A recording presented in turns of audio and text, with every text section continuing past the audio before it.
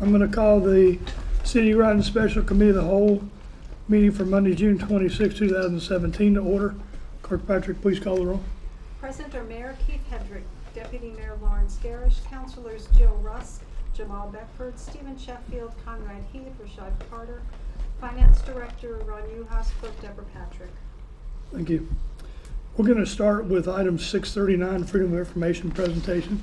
I've asked Tom Hennick of the Public, the Public Education for Freedom of Information uh, Commission to come to give us a presentation on uh, Freedom of Information and Freedom of Information Act. I think this will be beneficial for all of us and everybody in the room. So with that, Tom, will you, I'll turn it over to you. Thank you. Thanks for inviting me. Um, We always enjoy doing these sessions when people ask us to come, because that means that they're interested in finding out more about freedom of information. So I appreciate the opportunity, and uh, I hope that by the time we're done tonight, you feel better about freedom of information. The goal tonight is not to beat you up, to make you miserable. It's to answer questions, to try to give you the tools you need to work with when it comes to freedom of information. I encourage questions. Anybody, you know, as we're going forward, uh, don't wait, don't save them up to the end. I may say something, you may say, hey, wait a minute, we don't do it that way. I'm not here with handcuffs, it's not, it's not that sort of a thing. It's, the idea is to try to, to build your comfort zone around freedom of information. I do these sessions all over the state, uh, and I of- often try to tell people just a little bit about me before I start. I'm not an attorney, and I don't know if that qualifies as good news or bad news. I don't know how you, how you feel about that. But the reason I share that with you is that I'm not here to give you any binding legal opinions. It's not an order, it's not a command. It's based on, you know, 16-plus years at the FOI Commission and what I've seen, what I've seen the commission do, what I believe they would tell you under certain circumstances. In the interest of full disclosure, before I joined FOI in 2001, it seems yesterday, but it's a long time ago, I was a journalist. Now, I don't know if that's good news or bad news. I don't know how that plays. I don't know what your relationship is with, with the journalists that, that pay attention to you. But it gives me a different perspective. You know, I, I've seen FOI from both sides. I, I, uh, most of my day at the commission is spent answering questions on the phone. Deb can attest to that, answering emails, trying to, you know, keep people uh, informed as to what they're supposed to do. And a lot of times when I'm answering those questions, I can, I can hear myself asking them on the other end, way back in, in my other life. And the third thing I'll share with you, a- and again, many of you out here who are uh, board members, is that a lot of times when I go out and do these sessions, people say, hey, Tom, you, you just don't understand. We signed up to help our town, to help our city. We didn't sign up for this FOI stuff. We're volunteers. We do this, you know, we have our real lives during the day, and then, and then we come and we do these jobs, and people yell at us and call us stupid and all that stuff. Well, I get that too. For ten years, I was a member of the board in the town where I live, the chairman for the last five, so no- I know what it's like to go home, gulp down dinner, and then run go to a meeting. It's, sometimes it's like, it's like a second full-time job, and sometimes you're underappreciated, and I, and I get it. But the part about, you know, not worrying about FOI, I can't, I can't let you go on that one because it's the law in the state of Connecticut. It's been the law for 42 years, and it was, uh, it was put in place in the wake of Watergate at the, at the, uh, with the impetus from Ella Grasso when she ran for governor for the first time. That's how far back it takes us. She was very committed to open government and transparency. A lot of people think sort of spurred on, uh, inspired by what she saw not to do when she was in Congress and the whole Watergate thing was, was roiling around her. And she pushed this law through, and, and she pushed it through. And those of you who are politically uh, inclined or savvy will get a kick out of this. When, when she put it forward, she said, this law is so important to our state, I will see to it that it is approved unanimously by our legislature. Now, I want you to ponder that for a second. Think about just what's going on up the road right now as they're trying to put together a budget. Think about guaranteeing a unanimous vote on this law or on anything. Well, she got it. I, I'm here to tell you that there was not a single no vote in the House, not a single no vote in the Senate. That shows you the mood of the, of the state back then. It was an important law. But on the other hand, to get there, you're creating a law that's based on a simple concept. But if you're familiar again with how things happen, there had to be a lot of compromise. So when you read this law, although it's based on that simple, everything's open, everything's transparent kind of idea, there's a lot of, you're, sort of scratching your heads. Have any of you ever tried to work with it or tried to see it or say, hey, wait a minute, what are, what are we, what are we supposed to do here? Because sometimes your eyes roll the back of your head, the wherefores and the whereases and things like that. And so we're- we'll try to break it down a little bit and make it simple, but the reality is, because it's written that way and everything is not clear cut, everything's not in a nice neat little box, a lot of times those of you who are on the front lines have to be able to, to make decisions, to be able to interpret this law, sometimes on the fly. You're sitting here at a meeting and gee, do we do we go into executive session, don't we go? And sometimes you have to make a call based on your based, on your best information. And when you make that call, somebody might not agree with you. And one of the, one of the things that the gray areas uh, generate are people who say, no, I don't think the public agency was right on that one. And so they file a complaint with the FOI Commission. One of the things this law did was create the FOI Commission. So when people believe they've been denied the access that they have a right to, they file complaints with us. And our commission's role is to adjudicate, to say, okay, you were right, you were wrong, this is what you should do. And that's the final word unless somebody wants to appeal a commission decision. And commission decisions can get appealed all the way to the state Supreme Court, which shows you the, the fluidity of it. It's not always, it's just not always black and white. There's a lot of gray area here. One of the, one of the first things that I always tell people to remember is, you make the decision based on your best information and based on, you know, what your instincts about open government, your, about making sure you do things the right way. And if somebody files a complaint, it doesn't automatically mean that you're wrong. Again, you make your decision, they file a complaint, and if you're prepared to defend it and you think you've done the right thing, nine times out of ten, you'll probably be okay. Another thing, sort of a, a preliminary thing that I always tell people is that it's called freedom of information, but it's not really about free information. It's about access to two basic things. It's about access to public meetings and access to public records. A lot of people see freedom of information though, and they think it's an invitation to ask a lot of questions. How did you get there? What did you do here? How did that happen? You know, I know those of you who are in, in offices in town hall or city hall, you see that. People come in, they say, you know, under FOI, tell me how did they get to that number? How did they, well, that's not what the law is about. We're, we're all public servants, right? So we're gonna answer questions for the most part. But you may reach a point where you're not comfortable doing that, where you're saying, you know, that, you, you really have to do a little of the work yourself. You have to go to the meeting where we're gonna talk about that, or read the records, or, uh, and sort of gather the information yourself, because if I'm answering the question, I might be interpreting your, your question incorrectly or something like that.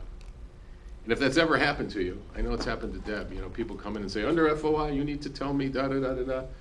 I want you to think for a second about working at the Freedom of Information Commission and having people call and ask you questions. They think we're the information center for the entire state of Connecticut.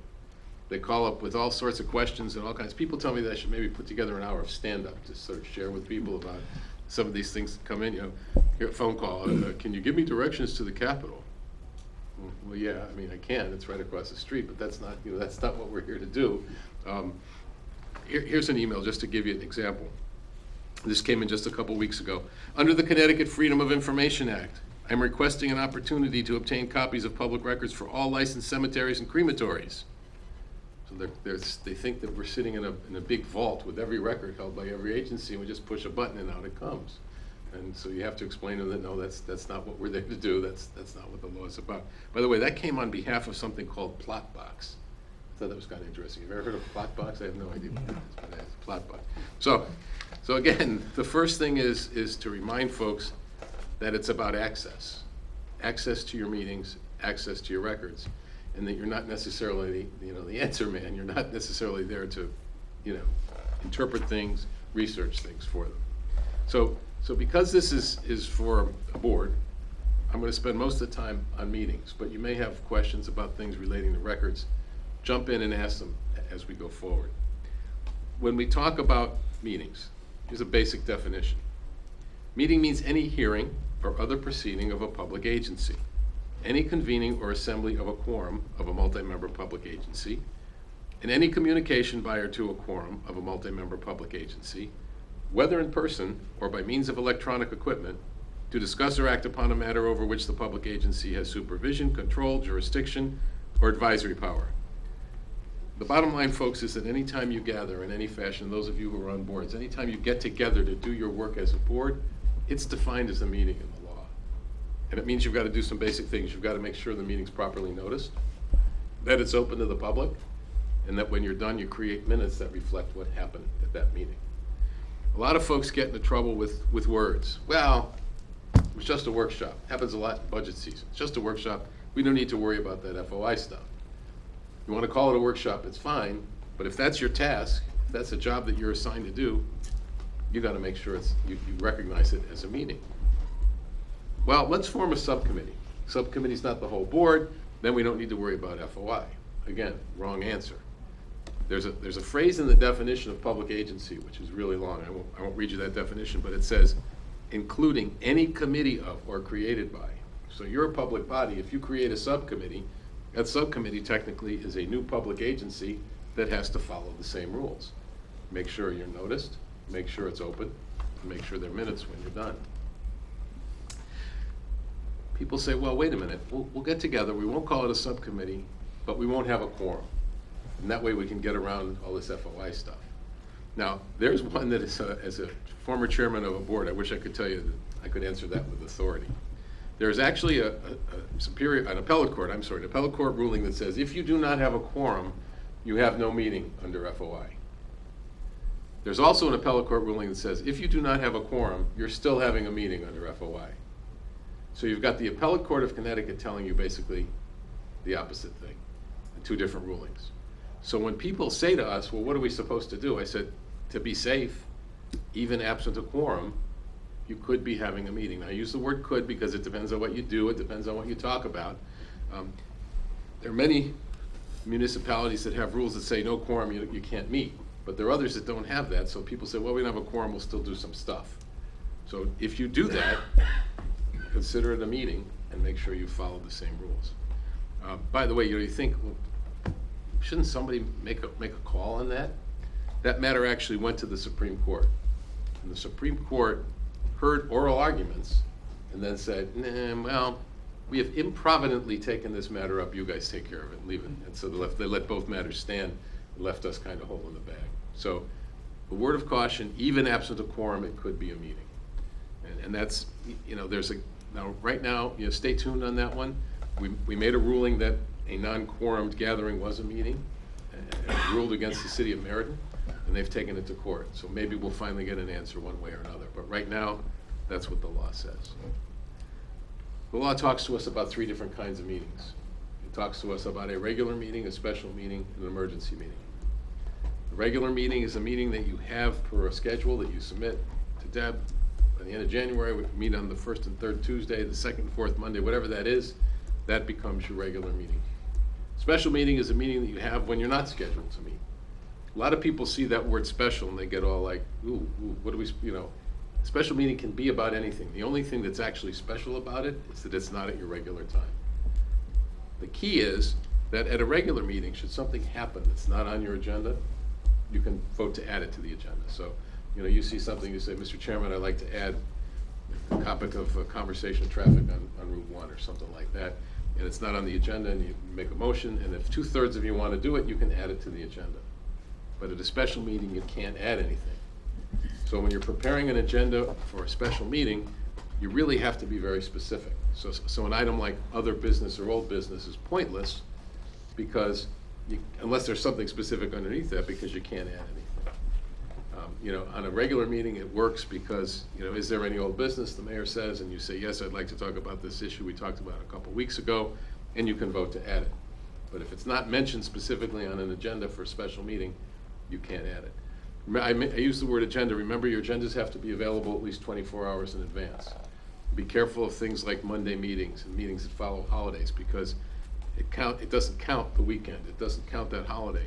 You know, a lot of times I'll get calls on a, on a Tuesday morning after, a- after a Martin Luther King Day or after a President's Day, and people are all, you know, oh my gosh, our meeting is tonight, it's our regular meeting, and I always put the agenda in on Monday, I forgot we were closed, so, you know, it's an emergency. Well, it's not an emergency. That third kind of a meeting, the emergency meeting, is a meeting that I always recommend that you try to avoid. Emergency meeting is an unnoticed meeting. And the law doesn't really envision a lot of unnoticed meetings. It wants you to do, and all the boards to do their work in public. So if you have a situation where, where you, you know, you forget to put in an agenda, oops, I forgot, it's not considered an emergency. The law sets the bar really high. You know, and I don't want to get dramatic, but think about, you know, you know, life-altering events. Think of, of, you know, heavy winter storms or flooding or things like that where people are in serious danger, where there's a problem, somebody could get hurt. Uh, That's when you have emergency meetings. Otherwise, you really try to avoid them. and make sure you get that notice, and that notice that needs to be available at least twenty-four hours in advance. If you think you have an emergency, and you know, you may, at some point you may, uh, you know, don't fall back on it thinking that anything could be an emergency, because it, you know, the consequences could be, could be serious. Uh, Somebody says that was no emergency, they should have noticed that meeting. We've had situations, one of the, one of the commission's strongest powers is it can declare null and void something that happens at an improper meeting. And, uh, you know, the short version of a, of a case we had in Ridgefield a couple years ago, Ridgefield had a, had a situation where they called an emergency meeting and a, and a person challenged it, and we found that it wasn't an emergency, and we said, look, the reason you did this was so that nobody would know about it. I'm, I'm paraphrasing, but you get the idea, and, and the commission said, we, we would declare null and void what happened at that meeting. There was a situation where they, where they fired somebody, they terminated somebody, and he challenged it. And, and with the, with the FOI complaint, we said, no, the meeting's null and void, which meant that he was fired at a meeting basically that didn't happen. But the town didn't like that decision and appealed it all the way to the state Supreme Court. And the state Supreme Court agreed with the FOI commission. Doesn't always happen, we don't always win, but it agreed with the FOI commission. The bottom line is that it took about seven years to adjudicate, so they had, they spent seven years with legal fees and back and forth, and, and they still had to figure out how much back pay to owe the guy, because they had fired him, and then he was technically still not fi, you get the idea. So if you're thinking, gee, it's, it's a real emergency, just make sure it really is. O- Otherwise, wait that twenty-four hours, that's when the agenda has to be in. Try to get it in at least twenty-four hours in advance, and then, then you're covered. Now, if you ever have a real emergency, the law says you meet, and you talk about only the emergency situation. You know, I was on, I was on a school board, that's the board that I was on, and, and a couple winters back, bad memories, I try to black them out, but, uh, you know, remember we had all that snow, and a lot of these buildings, the, the roof just kept, started sagging and stuff like that. We needed to hire somebody pronto, professionals, to get up there and get the snow off the roof, or else we were gonna have a problem. So we, that was an emergency because we didn't realize how bad it was getting. We met, but we only talked about who to hire, how much money to allocate, get that snow off the roof to, to keep the building in- intact and keep the kids safe. You talk about that one topic, and then within seventy-two hours, you create minutes that reflect what the emergency was, who was there, and what you did about it. If you have an emergency situation, I don't know what your relationship is with, uh, you know, with various media. I know you must have a I know you do have a nice website, I've seen it. You know, put it out there somehow. It's not required, but if you put out there that the, that the gonna have an emergency meeting to deal with topic X, it's clear you're not trying to hide anything. Because one of the first things that happens when you have that emergency meeting that's not noticed, people say, what are they hiding? Why aren't they telling us? So if you're gonna do it, make sure you go out and, and try to get the word out as best you can, and stay on topic. There's a tendency sometimes when you're in that mode, well, as long as we're all here, let's talk about some other stuff. Don't do it.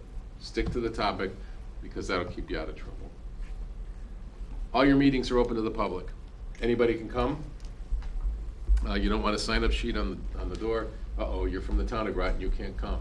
You get along very well with your neighbors anyway, so I, okay. but you can't come, you're not welcome here, you're not welcome here. You, anybody can, can come in and, and watch.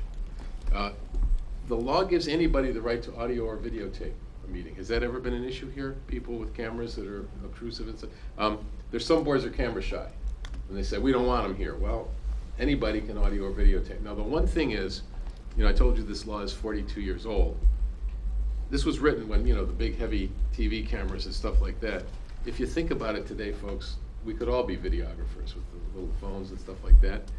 And my advice lately has been, look, you should always assume that somebody's recording it. A- common question is, do they have to tell us?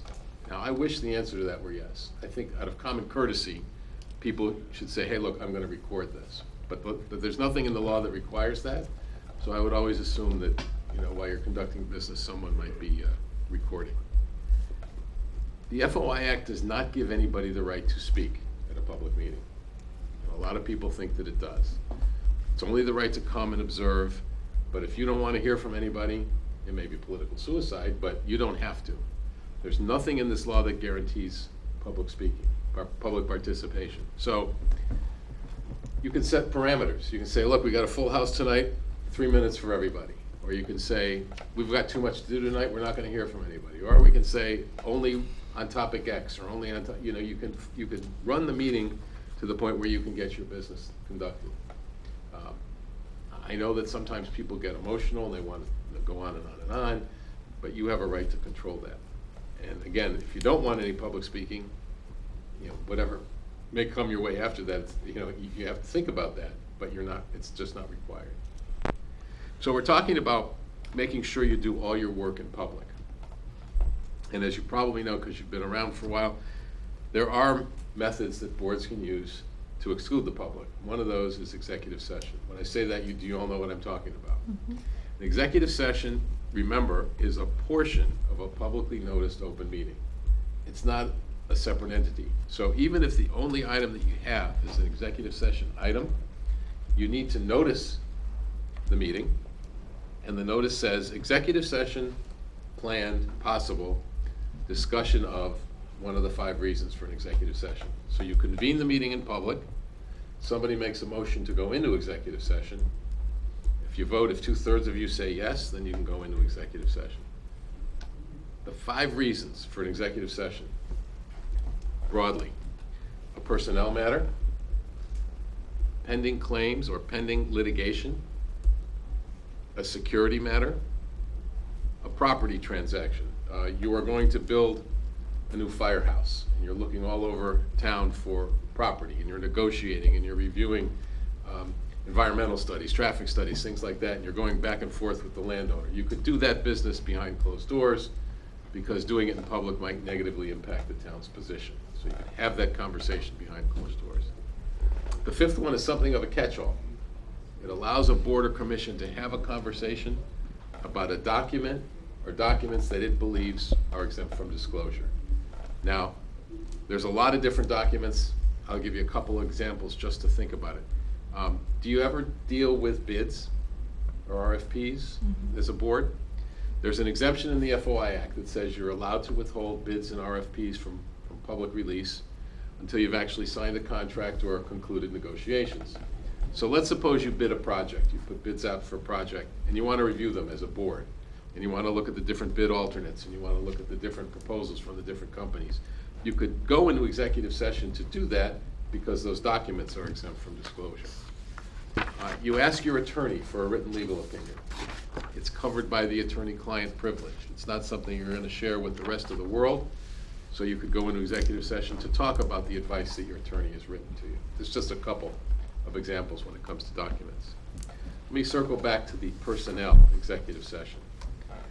You want to be very careful with that on a couple of levels. First of all, just saying on your agenda, executive session personnel has been ruled by the FOI Commission and by the courts especially, not to be enough information. Executive session personnel doesn't cut it.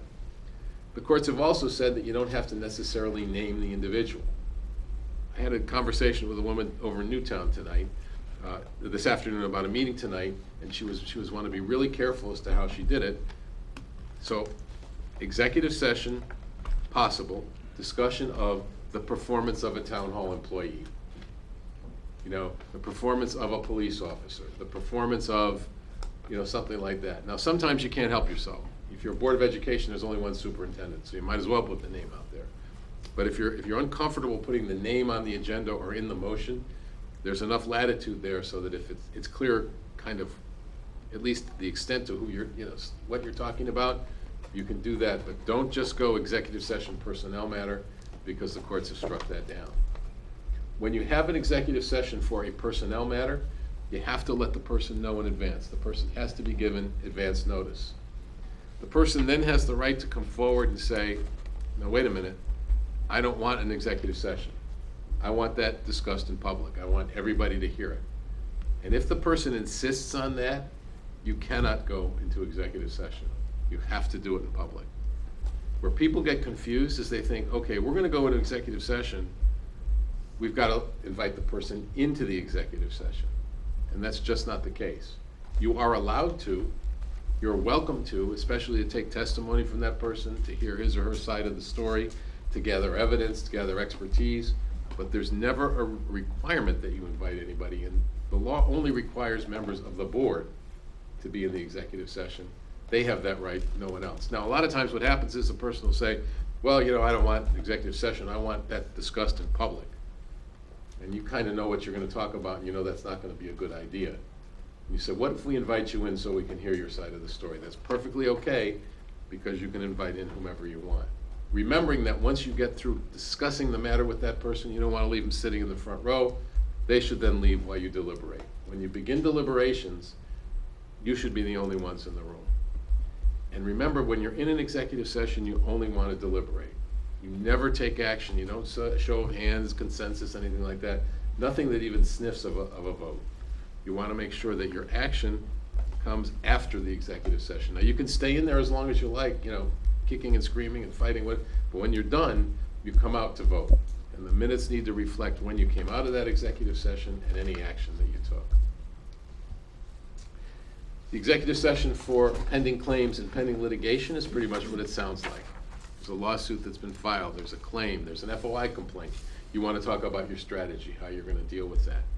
It's a little broader in that it allows you to talk about taking legal action. Say you're going to sue somebody, say somebody's violated uh, city rules or city law, and you want to, you want to take action. You could, you could discuss that strategy behind closed doors. And the other one, the, the security executive session, you know, I used to rack my brain thinking, trying to think of an example, because it never, ever used to come up. And then sadly, about five years ago, after Sandy Hook, it started coming up a lot. Primarily with school boards. Boards of Education wanted to go into executive session to talk about enhanced security, extra resource officers, extra alarm systems, locks, things like that. And intuitively, when you think about it, okay, we don't want the people we're trying to keep out to know what action we're gonna take, so that would be legitimate behind closed doors. Does anybody have any questions or thoughts about executive session before I move on? Because sometimes you do.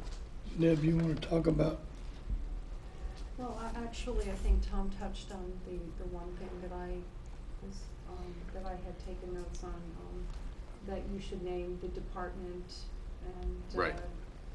they're not necessarily the person, Right. but Specifically, as specifically as you're, as possible and/or as you're comfortable with, yes.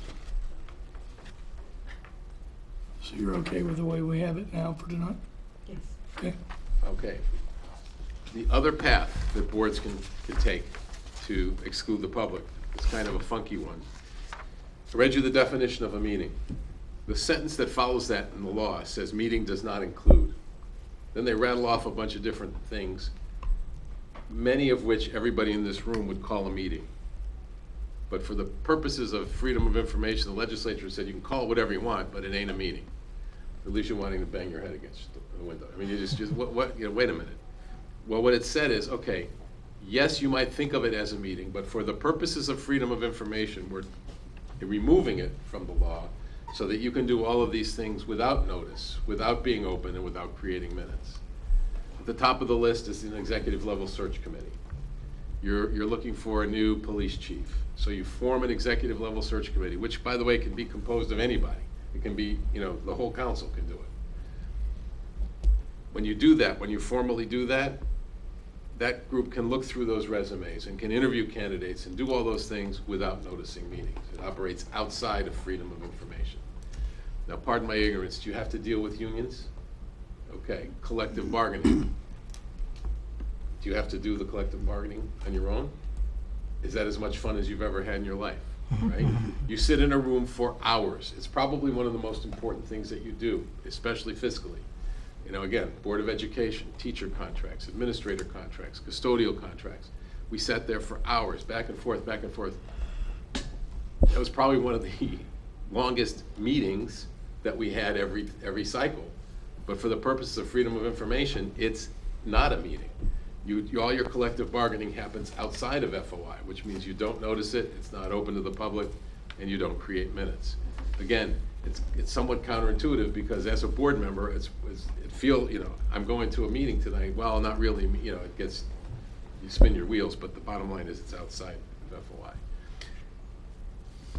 chance gatherings, social gatherings. A lot of times people say, oh my gosh, I'm on the commission, council now, I'm on the commission now. I'm friends with all these people, now I can't go out to dinner with them because you just told me that it's a meeting. Well, I love the way this is worded because, you know, you can, you can have a chance meeting or a social meeting, neither planned nor intended for the purpose of discussing matters relating to official business. What else are you going to be talking about when you go out to dinner? Let's not, let's not be naive. My advice there, folks, is to be practical. yes, work is gonna come up. Try to stick to the weather and the, you know, the state budget and the Yankees and the Red Sox and all that stuff. But when you wander into that area, stop short of setting major policy decisions. Stop deliberating. Don't have the, the passionate arguments that you should be having here. First of all, you never know who's sitting in the next booth, right? And that person, you know, slaps you with a complaint because it's an unnoticed meeting. But second of all, again, the idea is to do your work in public. You want to try to avoid any appearance of doing your work when you're not supposed to. That one's hard because, you know, you meet somebody in a grocery store, you meet somebody at a ball game, but just, you know, have restraint. And to that end, when we talk about meetings, when you, you might have heard it when I read the definition, whether in person or by means of electronic equipment. Now, electronic equipment was put into that law forty-two years ago, you know, to tell the powerful mayor not to get on the phone and say, you're voting this way, you're doing this, I need you to do this, boom, boom, boom. Called it sort of a- a seriatim, I think is the legal term, meeting, where the meeting took place on the phone before the meeting. You can't do that. And in two thousand seventeen, we're talking about a lot more than telephones. We're talking about the phone and the text and the email and the Twitter and all that stuff. I'm not telling you to not use those vehicles to disseminate information. Hey, guys, I'm putting this on the agenda, what, what else do you want on the agenda? Um, I feel very strongly about this issue, any one of you. I feel strongly about this issue, here it is, here's my position. The problem comes when you do that and you respond and say, that's the dumbest thing I've ever heard, and I'm gonna oppose that. And then you start that argument via any one of those, you know, the blogs, the social media, the tw- eh, You have to resist the urge to talk to each other via those vehicles when you should be having the conversations here at the table. We just got through with a case, some woman, now, she was being really difficult, I'll be candid with you, put some poor planning and zoning commissioner through the ringer because she saw him pick up his phone at a meeting and accused him of texting either another member or somebody in the audience and having basically a meeting within a meeting. And she wanted to see all the text, and she didn't believe him when she said, he said that's all there were, and he was just talking to his wife about picking up milk or ice cream or something, you, you get the idea. You wanna be really careful the extent to which you use those things, because when you do that in the conduct of the public's business, they become public records. And people can ask to see them.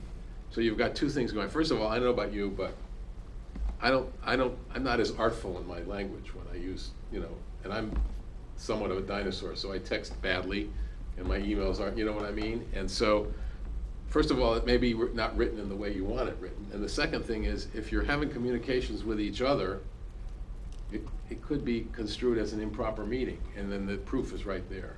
So the extent to which you use those vehicles, you wanna be cautious, because you don't wanna be in a position where people say, hey, look, they're doing all this work, and they're not at a noticed meeting. Okay? You Definitely don't wanna do reply to all either. Well, you, you know, again, reply to all could be, um, can we put this on the agenda? And you could, yeah, because agenda conversations are not considered meetings. But if it's, this is what I think we ought to do next time, what do you all think? Mm-hmm. Then you've got a problem, then you don't want to do it. So again, avoid that, reply to all when it looks like everybody's gonna jump in and have a conversation. And it's so easy to do, but you just want to be very careful the extent to which you, you do that. Well, I have a question. In this day of technology, Yep. with social media, Facebook, Twitter, everything else, and with email, uh, there are citizens that want to engage us, engage me specifically, about city issues. And last Monday, I made a public statement that I would not conduct city business on social media, and I would not conduct city, city business via email. And that if they wanted to bring up issues, they could come to citizens petitions, or they could send us an email as a question, and we could discuss it in comments, or communications and reports. And the blogosphere just blew up, that I was trying to, cur- you know, curtail free No, speech and those kind of things, so In fact, I they- need some advice from you. In fact, my, my advice would be to do exactly what you're doing. I would avoid commenting on blogs. I would avoid commenting on, on some of those social media sites. Uh, Answering a, a specific email to a, to a, a citizen, uh, someone you represent, would probably be okay if you're just going back and forth with that one citizen to the point that you're comfortable. But again, I wouldn't include everybody because somebody else jumps in and then, it- then you could run the risk of being accused of having an improper meeting. But, but, you know, responding to a Facebook post or things like that, we've got another case that's been going on for almost two years. Um, See if I can summarize this properly. Somebody, there was a, there was a negotiation going on and somebody on the Board of Education leaked some of the information to somebody who put it on a, on a Facebook and people are filing complaints to find out who was the leaker and all that stuff, and it's been on and on and on. Then we said, they wanted to see the emails. We ordered the release of the emails, the emails were gone, it was a mess. So the, I would not conduct business on those vehicles. I- You could look at an email as a letter, you know, if somebody wrote you a letter, you might respond to it. Or somebody sends you an email and says, thank you for this question, I'll bring it up with the council at the next meeting. It's, it's, you really, you're, you're wise to to curtail that. Well, and that's my stance on the email, because what people are gonna see now is I can answer emails. My thing is, if we get an email, an email question, I would want it brought up here so that it is public to everybody that's watching television certainly or your to the call. audience that's there. Certainly your call. Um, Okay. And, and not, nothing wrong with that by any stretch of the imagination, unless it's, you know, Mr. Mayor, the, the water's coming into my basement, can you help me? You know, that kind of thing. I right. mean, that's, that's a different story. But, you know, again, you want to be careful the extent to which you share it with everybody.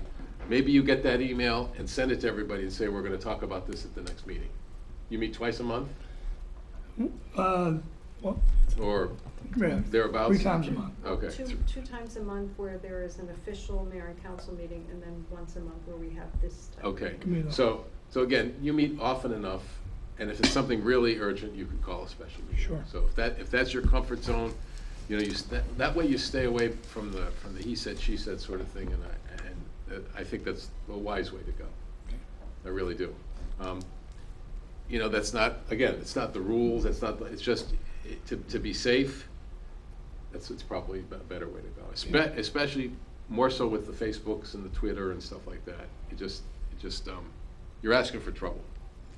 Okay? Now, the last thing about meetings is minutes. Um, I assume that's your That's me. task. Folks, remember that minutes need not be the recreation of war and peace. They are not every word that everybody says. A lot of times people will stand up and they're blah, blah, blah, blah, blah, and I want this in the minutes. Well, no, the only thing that's actually required in minutes, folks, is a record of who votes for what or for whom. That's the only legal requirement for minutes. Now, obviously, you're gonna put more than that in there. You're creating a historical record for your city. You want more, but how much more is your call?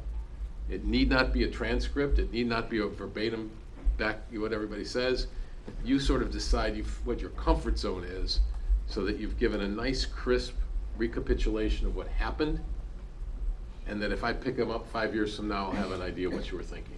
But it need not be every word that everybody says, and sometimes people get, you know, they want that, and you gotta be very careful with that. Your minutes need to be available in seven days. A lot of times people say, well, wait a minute, we don't meet again in seven days, we can't approve them. Doesn't matter. The minutes need to be out there in seven days. If you are going to make changes to those minutes, make them at the next meeting, and those meeting minutes reflect any amendments you make to the minutes you turn in after seven days. You don't want to be shuffling copies all around. So the minutes are in after seven days, and if you want to see how they, you know, finally turn out, you wait till the next meeting to see what those minutes look like. Okay. Are there any questions about things relating to meetings that I haven't touched on, anybody?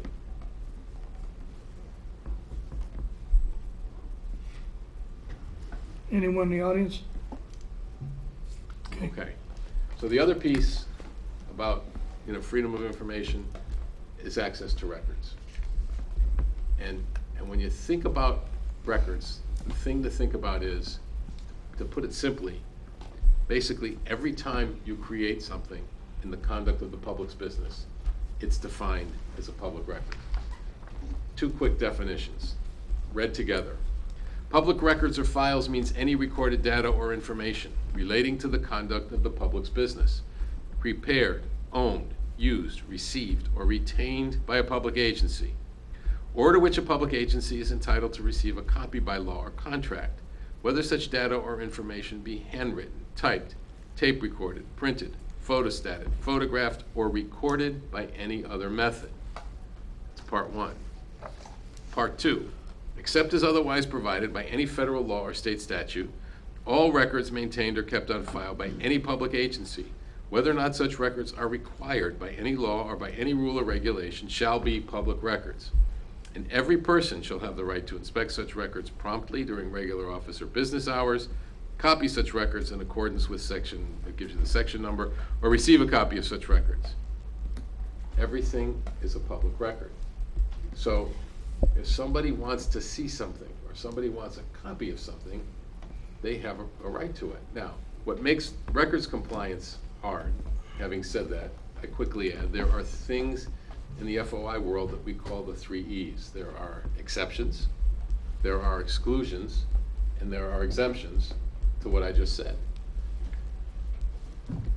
So why, why tell me, you say, that everything's a public record, and then tell me that you've got all these exceptions and things? You're just confusing me. Well, yes and no, because the best way to avoid trouble when it comes to public records is to understand that everything is a public record, and then apply one of the exemptions. Don't go with that gut reaction, oh, that couldn't possibly be something I'm gonna give out. That could, I, I- I'm not gonna give that out, that's, that's personal. Well, you might be surprised. So assume that it's a public record, and then look at, look at the, the, the different exemptions and see if any ap- apply.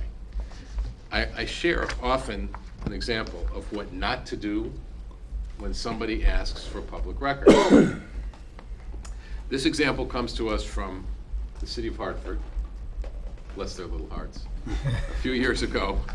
The person making the request is someone who makes a lot of requests. Do we, do we have those in Groton? Do we have people who make a lot of requests? Right? Okay, but you have to understand that everybody has the same rights. Now, this particular person, we'll call him a quasi-journalist. He's kind of a, he's, he's around a lot, and they, at this juncture, and this is a few years back, but at this juncture, they kind of headed up to here with him. But nonetheless, he makes this request, and he asks for any billing records submitted to the city by a particular law firm doing work for the city. And then, he also asks for any record of payments from the city to the law firm. Pretty basic stuff. So the Corporation Counsel, I want that to sink in, the attorney for the city of Hartford writes back and says, I have your FOI request and will coordinate the response. Such documentation as is allowed or required by law will be provided. Now, folks, when you get a request for records, those of you who don't know it, you're supposed to respond within four business days. And four business days, respond means basically acknowledge. It doesn't necessarily mean produce the records, but you gotta let them know where you stand in four days. Otherwise, if you don't, it's, it's viewed a denial, and they can file a complaint with us. So you always, at the very least, wanna do that.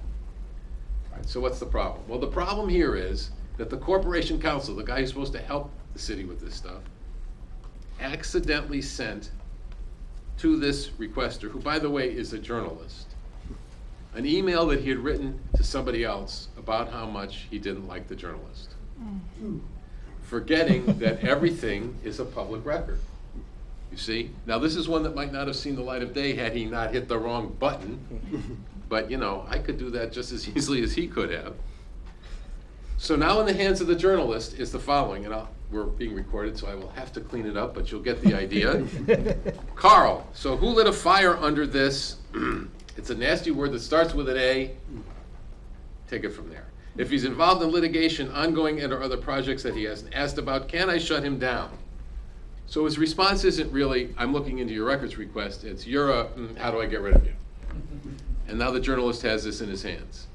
And boom, it's up on his blog, it's up on the public access TV, and he's connected. It's on the six o'clock news FSB, it's in the Courant the next morning, Hartford looks really awful. Really, really stupid. So the Corporation Counsel, you know, says, maybe I ought to do something about this. And you can't really see it, but trust me, this is City of Hartford letterhead. He tries to write a letter of apology, but he can't do it. He doesn't like this guy. In his letter of apology, again, public record, this is gonna hit the streets. Apparently you have little else to do other than to pester me in this office and other city departments. Recall that I do not work for you. The purpose of the FOIA statute is not to provide you a playground. Folks, even if you think that, please don't write it. Because now you've created a public record that says, I don't like you, I don't like your law, and this one makes the rounds. You know, you have to think, I'm creating public records every time I work in the context of my job here. The part that, that gall, this part's sort of the humorous part, but the part that galls me and the, and the, the finishing point to this story is, because it was him, and because he felt that way about him, he never bothered to look at what he was looking for. None of those E's applied, and the next headline is Hartford loses case at FOI commission, because the guy filed a complaint, none of them were exempt, and out the records were ordered. When you get a request for records, always think in terms of, okay, are these records we're gonna, do they fall under any exemptions? And always try to make sure that you put blinders on. You know, when I asked if there were frequent requesters, I heard, I heard chuckles and I saw heads nodding, and we all have them. I mean, we all have them. We have a guy who, between 2011 and 2015, filed almost 450 formal complaints against various agencies around the state. A nightmare. Now, we've reached a point where we've tamped him down a little bit, but by the way, he's still active and he's not far from here. And he makes a lot of trouble and he comes into town halls and he churns things up. But when he came to our office and asked for records, we resisted the urge to, you know, toss him out. And if they were records that he had a right to, my point is, everybody has the same right. So you look at the records and you see whether or not any of the exemptions fit, and then you follow through. And you just, you just have to make sure that you understand that, you know, even the people that make you crazy, or are crazy, depending on how you wanna look at it, you know, have, have those rights. Um, People say, well, okay, they're making these, these massive requests. They're asking for hundreds and thousands of records. We don't, we don't have the time, we don't have the personnel, we don't have the manpower, okay? The FOI Act says, it's very important to understand that it's not immediate access. It's not you drop everything you're doing to provide access to records. The law talks about prompt access. And it's, it's kind of a definition that's kind of wide open, because you can interpret what's prompt.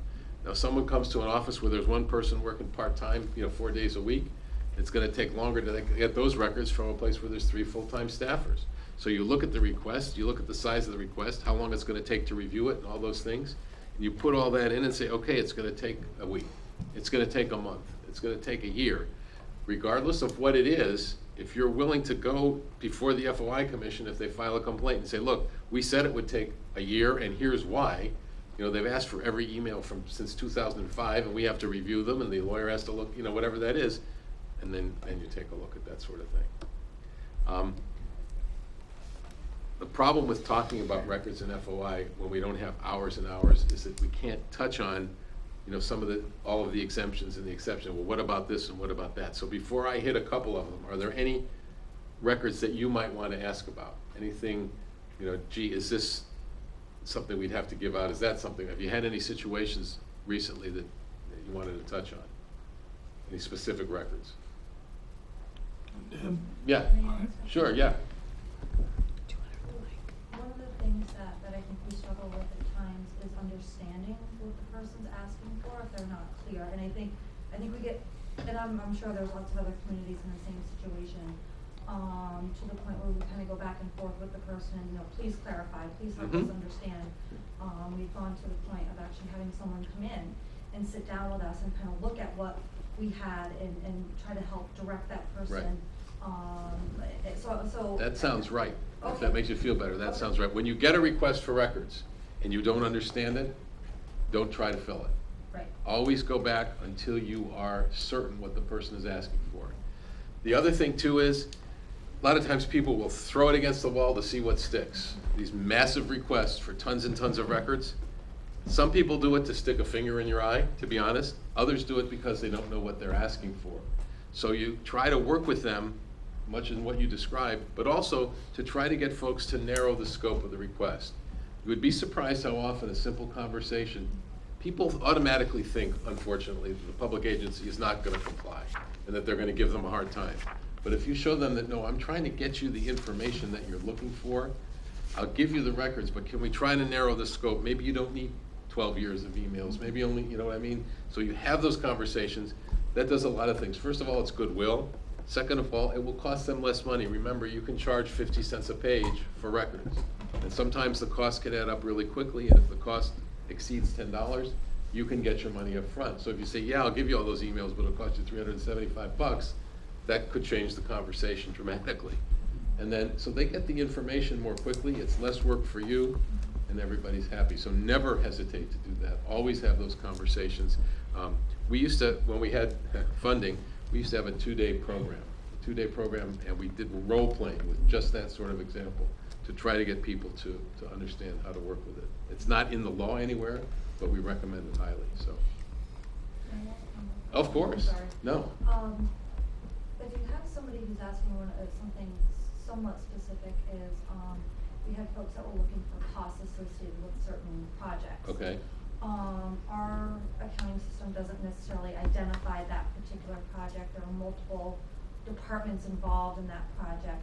Um, so basically, we ended up with, you know, ten boxes, um, not all costs, um, but there were contracts in each of those boxes that would help identify that. Right. Um, would you make those boxes available to a person, or would it be on, um, the city or the municipal to, to try to pull those items out? another great question. You're never required to create a record that you don't have. So if somebody asks for something that you said your system doesn't produce it, you're not required to produce it. You're also not required to do research. So it sounds to me like sort of taking from this box and that box and putting it together might be creating the report. So it might be a combination of those two things. Mhm. So my recommendation was to have them come look at those boxes or have a conversation beforehand and explain what you just explained to me and say, look, we, we don't, we can't generate that report. Here's what we can do. Do you want any of those? Um, and, and, you know, you don't have to do research, you don't have to create something that doesn't exist. A lot of times people will come in, this is this a finance department? Or they come in, they'll say, I want this report or that report. And if you don't have it, you just don't have to create it, okay? Let me talk about a couple of the exemptions, just so you understand how it works. The one that comes up a lot is the one of personnel records. A lot of people think, oh gosh, it's in a personnel file, nobody's ever gonna see it. Wrong. If you work for a public agency, even your personnel files contain public records. To not release something in a, in a personnel file, the law says that the contents have to be an invasion of privacy. The standard for invasion of privacy was set back in 1993. A state Supreme Court case called the Perkins decision It was a situation where the, a teacher objected to the release of her attendance records. And the state Supreme Court said that the attendance records of all of us who work in the public sector are public records, period, end of story. And by the way, to have been an invasion of this woman's privacy, the release of those records would have to have been both highly offensive and not a matter of public concern. It would have to have met both prongs of the test. So, when you get a request for something that's in a personnel file, the person in charge is supposed to look at it and say, would releasing this be highly offensive and not a matter of public concern? Would it be an invasion of privacy? If the person in charge says, yes, it would, you then go to the employee and said, hey, look, the day is looking for these, these personnel th- things. We think it's an invasion of your privacy, what do you think? And if you don't care, then out the records go. But if you agree, then, then the law says they can't be released until or unless the person, the day, makes a request, a complaint to the FOI commission. The commission says, look, Groton, with all due respect, there's no invasion of privacy there, give the records out. It's important to remember that you have to look at the records first, because if you don't, and the person making the request files a complaint, the complaint comes against you because you're the keeper of the records, not the individual, not the employee. People say, how do you, what, you know, how do you interpret that? I'll give you one example just to show you how it works. We had a case in Middletown a few years ago. It's a situation where there were rumors all over the place of a police officer having all kinds of trouble at home, to the point where there was, there was real concern that his effectiveness on the job was being compromised. So they took him off the street and they put him on desk duty. And they did a complete internal affairs investigation, complete and total IA investigation. And the report said, yeah, this guy's having a ton of trouble at home, but he's, he's doing a great job as a police officer. There's no connection. There's a disconnect between those two things. So they do the report, they put it in his file, they put him back on the street. The Hartford Courant asks to see the IA report. Now, an IA report, a lot of people say, ooh, nope, that's a public record too, unless one of the exemptions applies. So Middletown PD looks at it and says, you know, there's a lot about this guy's home life in here, but it really has nothing to do with his performance, so we think it's an invasion of privacy. We think it'd be offensive to tell the world about it, and the public doesn't need to know. So it said no. Courant filed a complaint with the FOI Commission. And the commission looked at it and said, you know, waived a lot of information about the guy's home life in there. That's nobody's business. It would be offensive to tell the world what kind of troubles this guy is having. And he's doing a great job as a cop. It's not a matter of public concern. Complaint dismissed, the report was never released. But the key is it's gotta hit both prongs. You know, a lot of times this highly offensive material is in there, but it's something the public needs to know. You know, I don't wanna get too graphic, but you've got a situation where a police officer is caught, um, I don't know, in a bar, on duty, something like that. I mean, that's, that's really kind of offensive, but the public would have a right to know it because they're paying, you know, this is somebody who's supposed to be protecting them. So you, you, you wanna just have an idea something like that. When I talk about records, remember that I'm talking about everything. Your emails, your texts, all those things are in, in theory, records that people could see. People say, well, I'm just working at home, I was using my own laptop or my own tech. Doesn't matter. If you create something in the conduct of the public's business, it's defined as a public record. Now, it might be exempt, and again, we don't have, you know, we could spend hours going over these exemptions. If you have a specific one, I'll be happy to go over it with you. But always assume that when you create something in your jobs here, and those of you who are board members and staff members, that it could be a record that people could ask to see. I took a, I took a phone call a month or so ago from a woman. She says, hi, my name is Sean. I said, hi, Sean. She said, I'm calling you from Georgia. Georgia? Who's calling the FOI Commission in Connecticut from Georgia? She said, my husband is an out-of-state contractor, and he did a job in Connecticut last summer. Okay, so now at least I got a connection. And I think he had an affair with a state worker. Why is she calling me? Anybody want to take a shot at why she's calling me, the FOI Commission in Connecticut? Can I see that state worker's emails? Can I see her text messages? And the answer is, if they are created in the conduct of the public's business, yes. You know, the email to the construction guy that says, let's meet in the construction trailer and go over the blueprints, and then, you know, dot, dot, dot, or something like that. Well, that would be a public record. I said, yeah, if it has to do with the public's business. She said, thanks, it'll help me with my divorce proceedings. So just, you know, think about when you create these records, that they could be something that people could see. I'm, I'm, you know, I'm mindful of the fact that you've got work to do, um, and we're almost out of time. Does anybody have any questions about anything that I haven't hit on? FOI requests. Yeah, We have recently received an FOI request that was a mixture of asking for documents and asking questions. right. Is the FOI process for asking and answering questions? as I, as I said before, you know, like directions to the Capitol, the answer is no. You do not have to answer questions. How did you arrive at that figure? Why did you do this? No. It's, it's simple. It's access to the record, access to a record that has been created. So you do not need to answer questions under FOI. What if they ask for records that haven't been created yet, but probably will as a result of an ongoing investigation? Not required. The only record that you can ask for prospectively is an agenda. You can ask that, you know, I want all planning and zoning agendas going forward. If I make that request today, that request is good for a year. I should be on your mailing list, but everything else, no. So Only ask for a record that exists. So if somebody wants to know the attorney cost for, the total attorney cost at the, for the, for an ongoing investigation, You can give them to date, right, but, but you can't it's give not them gonna be going until the No, end? no, Okay, absolutely not. that's what they were looking for, No. okay? Nope. You had a question. Yeah, going back to meetings, uh, how does Robert's rules uh, affect uh, freedom of information? People usually use Robert's rules, but there's no, there's no correlate, there's no connection between the two. Roberts is fine, it's great, um, but if something in Roberts doesn't agree with FOI, FOI would take precedent because it's state law. Okay, good, thank you. Yeah. Anything else? Council, any other questions, comments? Anybody? Audience? Can we cover caucuses?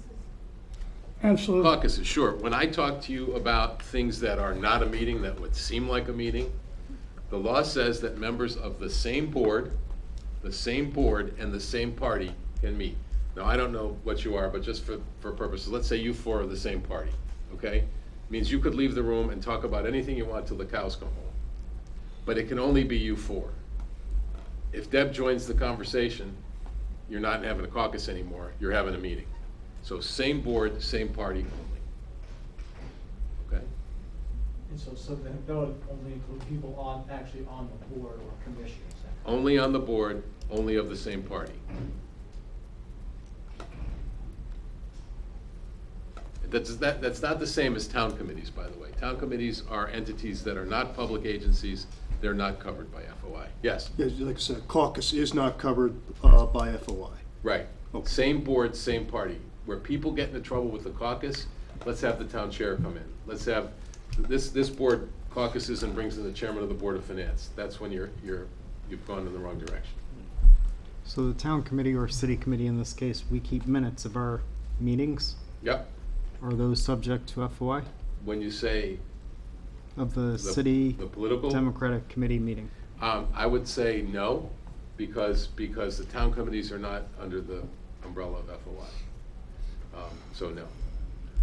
Did, did we clarify whether or not you have to have a quorum in order for it to be a meeting? Like if, right now, our quorum would be four, but if three people met, is that still a meeting or That's, is that? that, the, the- what we, what we clarified is that the law's leaving us up in the air. That's the thing with the two rulings. You may have something in a charter or in bylaws that say, no quorum, you can't meet. What we say is that if you go ahead and meet anyway, you need to follow FOI. Got it. okay? Um, And, and we don't tell you what to do either way. I tell you, you know, you got a second, had a situation over in Woodbridge a couple of years ago. And they needed three for a quorum. So three of them show up. The problem is that one doesn't like the other two. In fact, one can't stand the other two. And after about five minutes, the one takes a hike and they're left with two people in a room full of people wanting to hear them do business. So they say, well, okay, we'll talk about stuff. We're not gonna vote because we have a, so they, they have a long meeting, blah, blah, blah. And then the one guy realizes that they stayed and met. He says, gee, I better find out what happened. So he asked them, the other two, for minutes. And they said, well, it wasn't a meeting, there was no quorum, we're not doing minutes. He filed a complaint, guess who won? He did. Even though he was the jerk who left, they needed to have minutes because they continued and they stayed and did work, so. Anything else at all? Now, folks, I, you know, I do these to try to help, but I also encourage you to think about picking up the phone and calling if you ever have a question. Some of you in this room have. I'm available. You just ask for me. Um, Not at the end of this week. I'll be going to my daughter's wedding. Uh, But in general, an email or a phone call, we're more than happy to, to to help. And the answers there aren't, aren't binding. They're not orders. It's, this is what we think you should do. You can say, oh, fine, we'll do something else. You know, sometimes you have to do what you have to do, but at least you'll have a foundation upon which to make a decision. I brought a couple of things that might be helpful. Some of you may have these. I call these the Freedom of Information American Express cards. Don't leave home without them. They're highlights of the FOI Act. As important on the back again is our, is our phone number. Our website is on the back. It can be helpful. Gee, have we had any cases out of Groton City before about this? And you type it in and you can, and you can find it. So I'll, you know, I'll just maybe leave these here and you can share them. And then I also brought some of these. These can be helpful. I call these the meeting cheat sheet. It's a grid about when meetings need to be noticed and when, those sort of things. And these can be helpful as well. So I'll leave those as well. Any other questions? Anyone else? Thank you, Tom. I welcome. really appreciate you coming out. Anytime at all.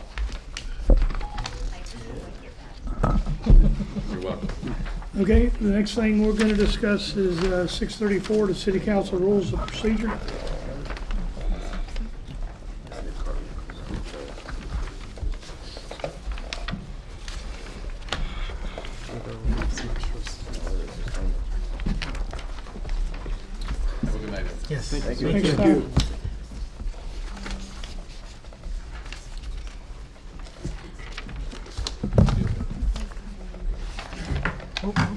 Name? Hennick. H E N N I C K. Hennick. H E N N I C K. Thank you. Sometimes my accent gets the way it sounds like I G, but it's Hennick. Okay, this is uh, referral six thirty-four. This is the Council Rules Committee. There was a Rules Committee met. Who would like to speak to this? Um, I can do that, that's fine. Okay, Um, so the Rules Committee met, um, a special meeting on, I'm sorry, not five nineteen seventeen. Um, and we made two referrals, I believe, um, for changes. Um, referral, um, let me see. Two D. If you look at your, your copy, um, two D, um, there's some changes listed there. Appeal a decision made by the mayor on question of order, such appeals being decided by the Rules Committee versus Robert's Rules. The appeals goes before the vote of the body. So, um, the mayor may speak on any question and shall decide questions of order. Any counselor may appeal a decision by the mayor on questions of order. Such appeals being decided by following Robert's Rules of Order, which is a vote of the whole body. Re- And we're looking to redact the Rules Committee, such committee made up of three counselors appointed by the mayor.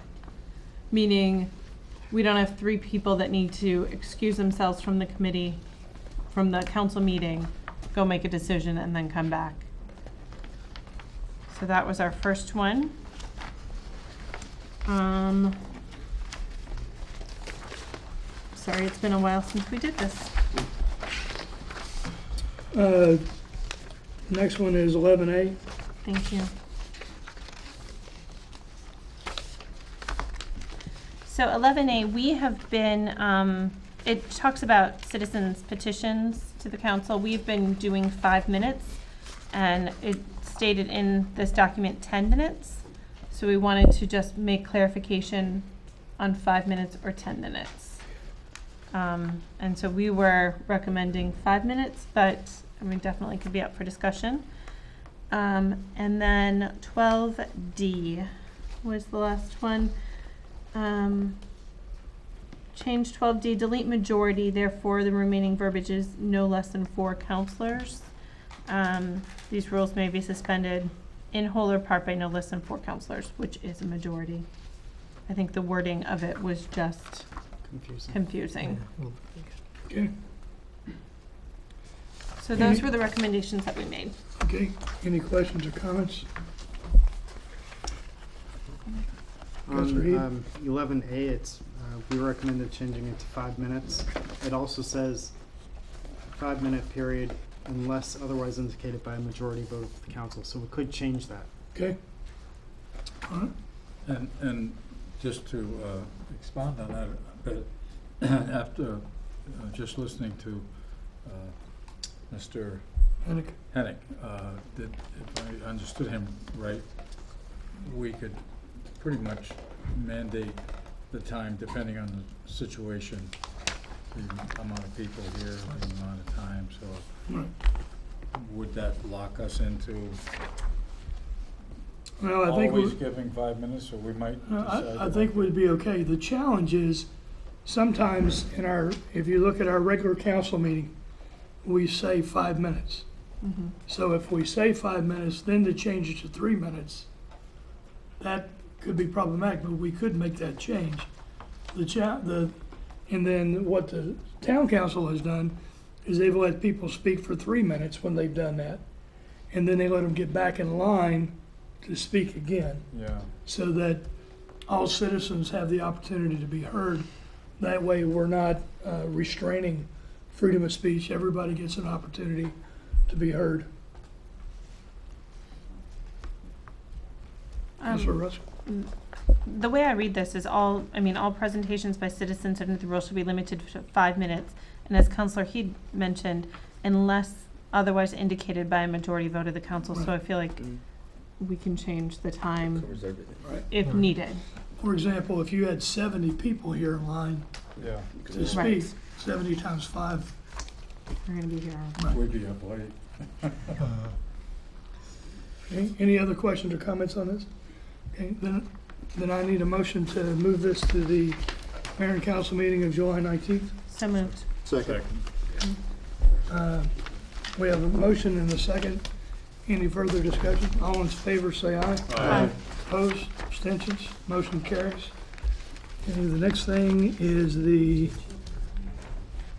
it's nineteenth, is that not, July nineteenth, is that the right?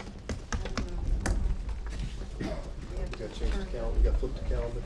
Hold on, I may be, I may have, I may have, I may have picked wrong, but I think, Seventeen. that would be seventeenth, sorry, July seventeenth, not July nineteenth. My apologies. So, we'll need, do we need to amend the motion? You haven't voted on it yet. Oh, so, uh, right, so we'll need a mo- the motion for July seventeenth, not the nineteenth. So moved. Second. All right, all in favor, say aye. Aye. Opposed, abstentions, motion carries. All right, the next one is six forty Groton Municipal Employees Federal Credit Union.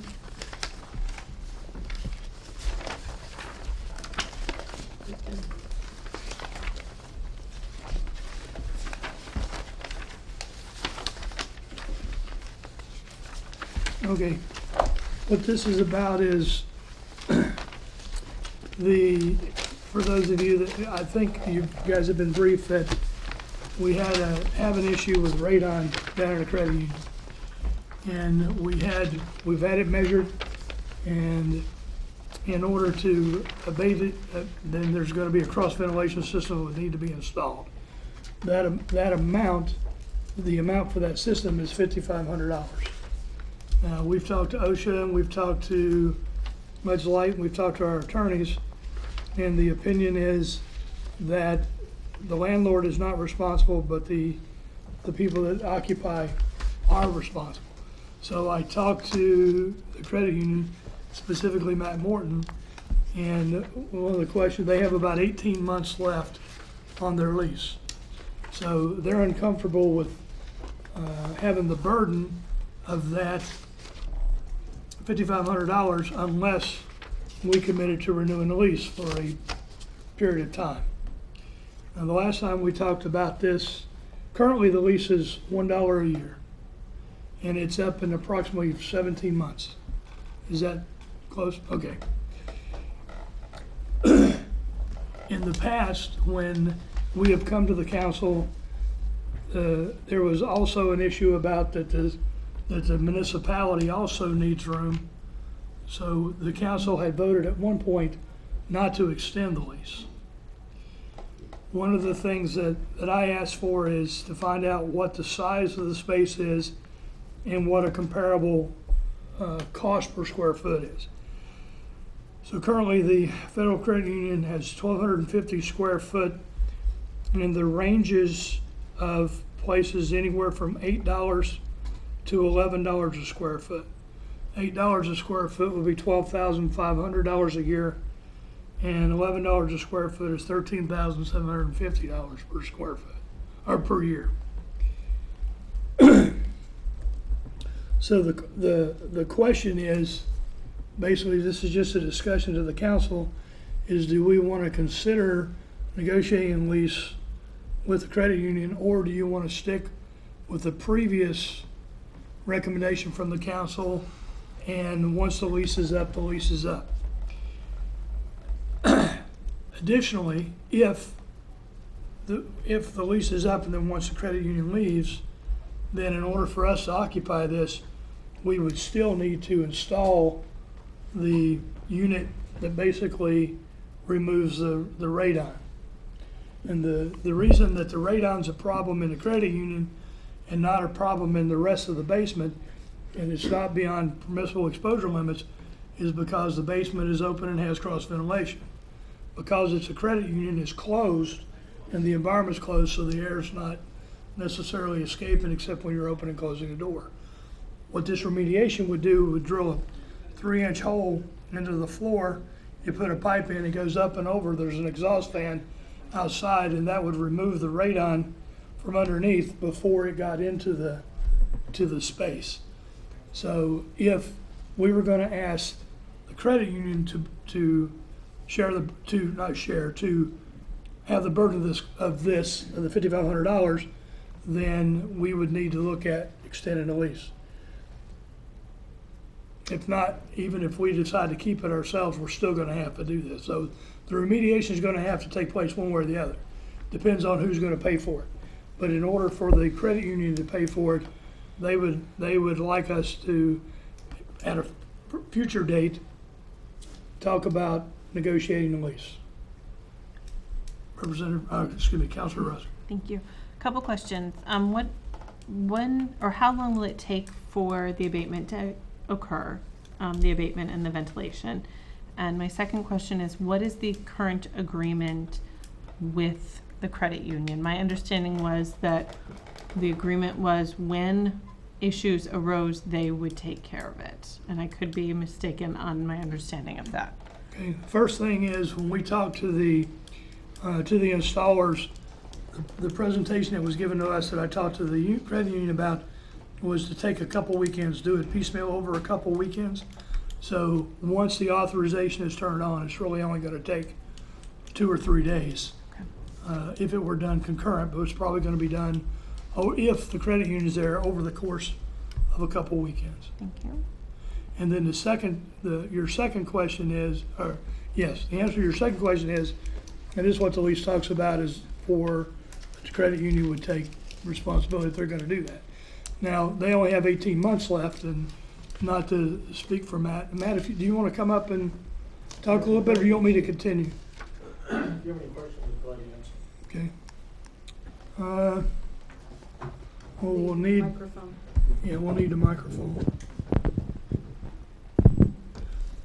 Cur- Currently, the issue is that with the lease being only 17 months or so left, the, the credit union is uncomfortable with uh, the full cost of $5,500. So in order for there to be a return on their investment, there, they would want an, ex- they would want an extended lease, and we haven't gotten into that discussion. That would have to be a further discussion. The reason I'm bringing it to you guys is to ask whether or not you want to consider going into an extension with the credit union or uh, the last, or do you want to continue with what was last decided by the council, previous council? And that was because the space is needed in, front of the municipal employees, that we were not going to renew the lease. Did that answer your question? Not completely. Okay, could you ask it again? Um, well, I mean, I think it did, but I- it just brings up so many more questions, because this is really not just an easy topic. No? I mean, there's so many different things here. I guess the first question that I have is, if the agreement is that for a dollar a year, the, the credit union takes care of all of the issues, then how is this any different than any other issue? If the basement flooded, you've taken care of that in the past. I understand that there's only fourteen, or seventeen months left, but there's seventeen months left, and in that, you're only paying a dollar a year. Um, so that's kind of my first question. The second part is, do we still need the space? Because I don't think we can make an educated vote on whether or not we have them stay if we still need the space for other areas. Because the last I knew, we were talking about human resources taking up that space. Um, so there's so many multifacets of this issue. Okay, well, let's see if we can answer some of your, some of your questions. Did, did Matt answer the one question for you? No, my first question was, if you are paying a dollar a day, or a dollar a year, then how is this abatement any different than any other issues that's been, that have surfaced in the past? Well, because we feel that this is from the property, the radon is coming from the basement, from the property. Okay. We don't own the property, all we do is lease it. And our, our stance is, is that if I would, if this was a house and I was renting the house, the owner is responsible for any, anything major, roof repairs, basement repairs, anything. We've taken care of all the flooding in the past, and it hasn't been of the fault of the credit union Right, it's because of nature, or there's been backups in the sewer system, but we didn't, we didn't argue, we paid for it. This is something different, and if we're, if we're going to be leaving within two years, the radon has been here for a while, we can wait another two years and move on and go somewhere else. okay, The space is still not gonna be available to the city for at least a year and a half until we move out. And at that time, then the city would have to pay for the you know, the radon. We, you know, we understand a dollar a year is, that was negotiated 10 10 years ago. Um, We're amenable to increasing the, the amount. But we would also like a guarantee that if we're gonna, if we're gonna pay for everything, we wanna be here more than another year. We wanna be here for five to ten more years. You- Did you, you had another question? can- I'll ask Hey, my Counselor question. Sheffield? All right, so currently, you're, un- you're under contract now. Yes. And it doesn't expire until December of two thousand eighteen. Okay, so to remove the radon, you would be under contract to remove the radon based on the contract right now or no? We don't have to if we don't want to. Okay, I just want to make sure there was, They- Right. they- We don't exist. If the credit union is going to stay, we'll say, we'll take care of it now. If we're not Okay. gonna stay, okay, so if we extend your lease, you're willing to pay for it. So that's, that's simple, okay. That's, uh, An explanation is that they're currently in the situation, so the situation's not gonna change in the next eighteen months. okay, And that's a decision that they would have to make. That's not a decision that we would make. That's a decision the credit union would make. Counselor Rusk? Are there any long-term effects of radon? Like what, what risks are we putting on people? Do, you- would you rather get back to me on that? No, I can tell you what the long-term risks are. Long-term exposure to radon can lead, can lead to lung cancer. Okay. Because radon is a gas. Radon is a gas that comes from the granite. Right? We're lucky mm-hmm. that we have a lot of granite, so radon is gonna be released. What happens is you breathe the radon in, you breathe the radon out, nothing happens. You breathe the radon in, radon decays, and the two particulate daughters that it decays to stay in the lungs, and they just happen to be, happen to be alpha emitters, which is the worst type of radiation as far as for your lungs go. So in my mind, that doesn't allow us a fourteen or seventeen month wait period. If we know the radon's Yeah, there, It's gonna turn then, into a legal issue. Right. You know, so somebody has to pay for it, we gotta figure it out. I, I believe the ruling, and I could be wrong, was that the employer is the responsible party for that. I believe is what the ruling came back, I don't know. No. or the owner? The leasing, The tenant. right. The, the tenant, oh. The, the I'm sorry, I'm employer that confused. meets with that people, not the leasing of the building. Yeah, The- tenant. right, the, em- Yeah. right. Okay, let me get us all on the same page. Not the landlord, but the employer or the tenant that's there is responsible for that. Meaning, Their if responsibility. they understand, if the credit union understands that there's radon in their rented facility or their Yep. leased facility, then it is the landlord's, or the, I'm sorry, it is the credit union's responsibility to get rid of the radon. Correct. That's- that was my And question. who, where's that from? That's a state ruling, that's a, That's an attorney opinion. It's an attorney opinion. We also talked to OSHA, and I think we also talked to Ledge Light. I'd have to verify the third one with Carlton Smith, but I'm fairly confident that's what he said to me okay. when we were talking. the thing that we, we argue is the fact that if this was on another part of the, the basement floor where it's coming from, it's still within the city built municipal building, it's the city's responsibility. Now, I, I know what, what the, the ruling is from the attorney, but once again, uh, another attorney may say something else, may say it's, it's the landlord's. Like I said, comparing it to a house, if you're a a renter in a house, you're not responsible for that, the landlord is. And, you know, without getting into, into an argument, you, one attorney says one thing, another attorney may some, say something else. At this point, we're willing to compromise, and that's what I'm looking at. Sure, I, I mean, just to address that, I am definitely not trying to get into an argument, I'm just trying to gather all the information that we Exactly, can. exactly. Um, and figure out where the city's responsible and where you're responsible. Correct. Um, in, my other question to you is if you are willing to pay, say, twelve thousand dollars a year next, in, in eighteen months for reasonable rent, then why not pay the five thousand five hundred now? Because it's considerably less, and you've been paying a dollar a year up until I- I- now. I understand that, but five thousand, it may, maybe up to six thousand. That can go towards our relocation fees, if we can find a place sooner. Okay. And that's what we're looking at too. I mean, we, we, we've started looking for other locations, just because we ha- only have a year and a half, and it's gonna take time for us to renovate another building or wherever. Mm-hmm. And so we're, you know, six thousand dollars may not be a lot, but it is. You know, In, in response to one of your questions, I don't think I've answered it, is the question about, is there still a need?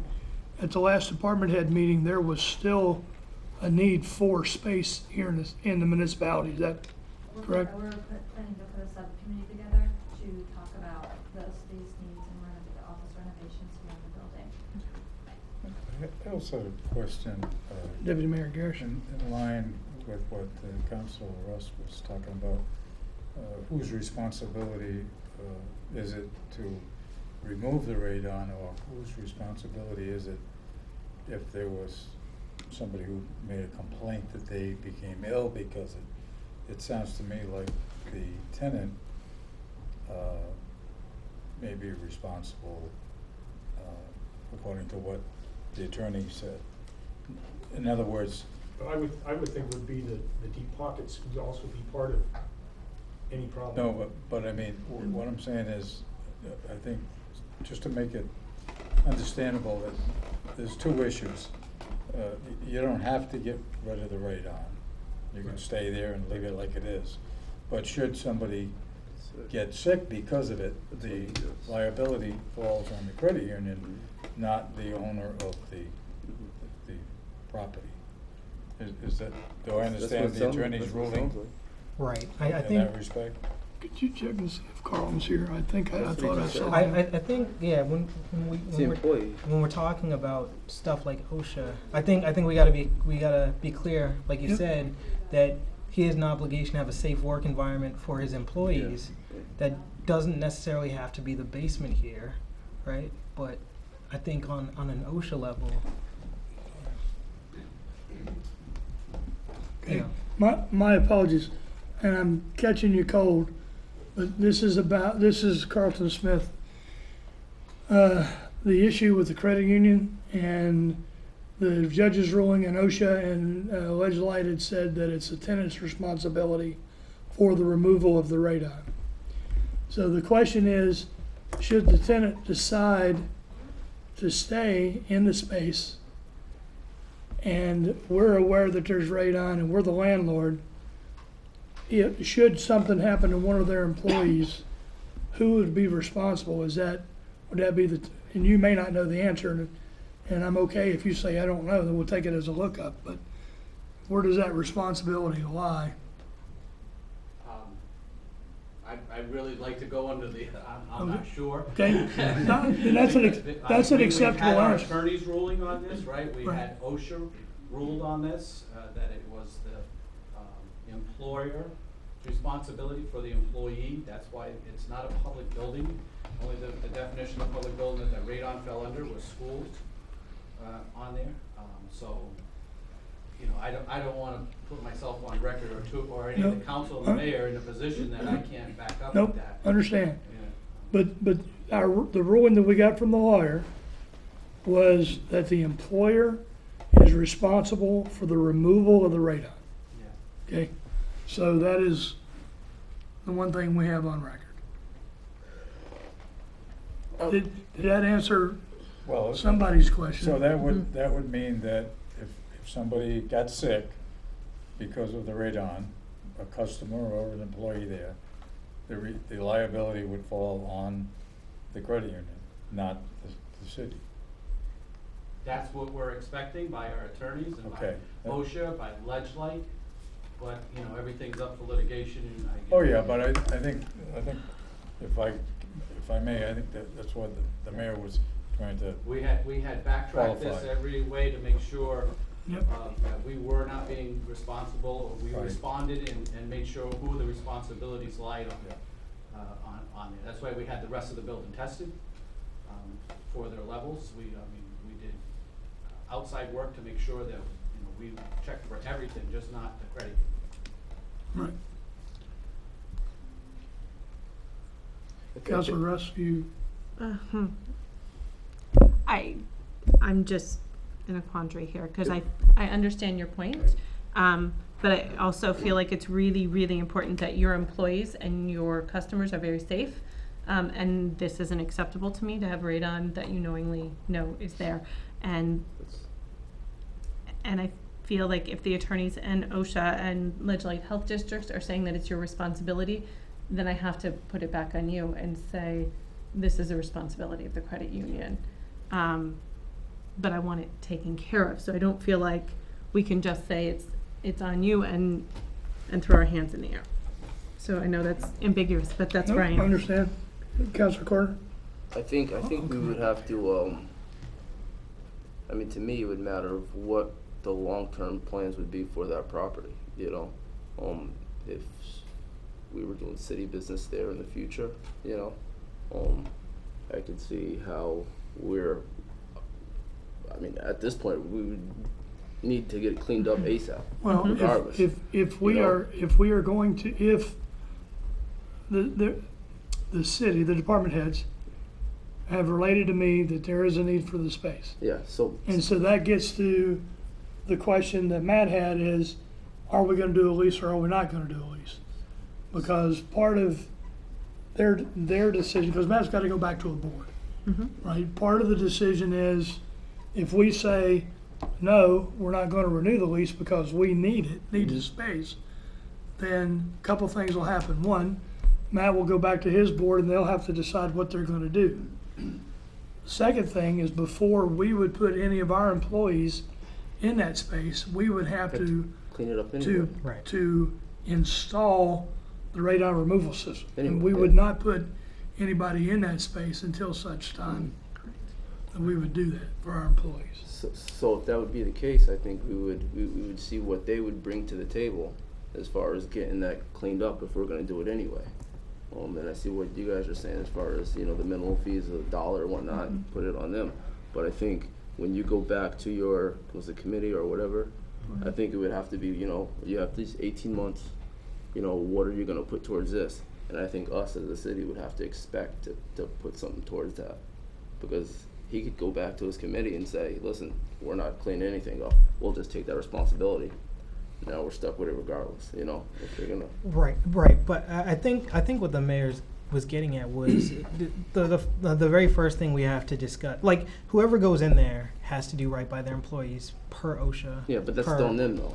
Right, or on us Well, if we are going to put employees in there. So I think the underlying thing to discuss, I think what we have to determine is, do we need the space? And I think the answer is yes. Well, they said yes, and, and, and that's what I'm saying, so we're gonna clean it up, right, Right. regardless, it's gonna be cleaned up regardless. Right. Right, so as a monetary standpoint, what's gonna work out for us? Because they can go, he could go back and say, all right, we talked to my, our attorneys, we're not gonna help with this, Right. you know, we're gonna do our eighteen months and that's that, you know?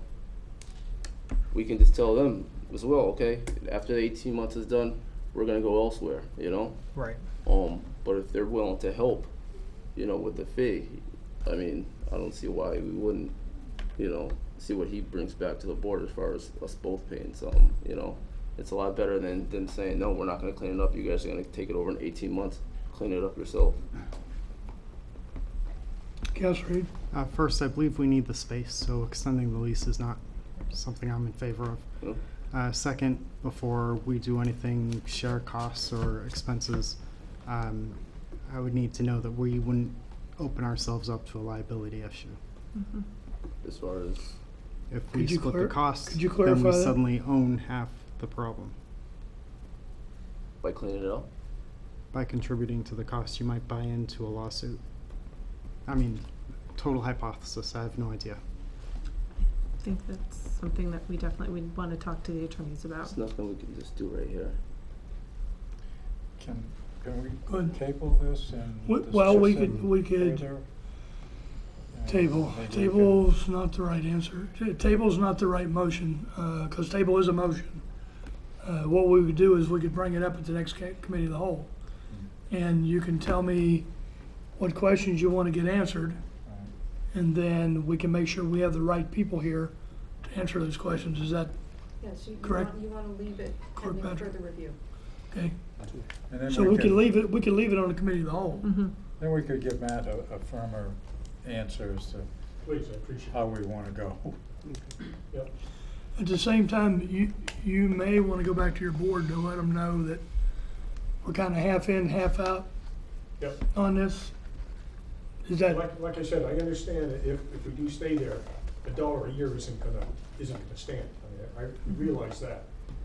But we're just looking, this, like I said before, this credit union was organized by the city of Groton and Groton Utilities employees way back when. I mean, we've always been in a municipal building. When it was on Thames Street, our credit union was in the, in the building there. When we first moved here, we had an office on the first floor here, and then we got moved downstairs as we needed more space. We renovated the basement to create that, that space for the credit union. You know, it was no cost to the city. Um, We just, we're just looking to stay here and be part of the city municipal complex. okay? Any other questions or comments? All right, Matt, thank you very much. Thank you for your time. All right, we'll go to the next one, six forty-one, state surplus property on eighteen Payne Street.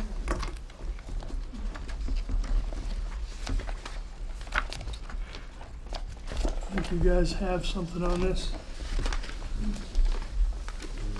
You have something on six forty-one? Yeah, the old state police barracks. We, the Department of Administrative Services has offered us the first right of refusal on this property. The property is as-is condition for seven hundred and seventy-nine thousand, one hundred dollars, non-negotiable.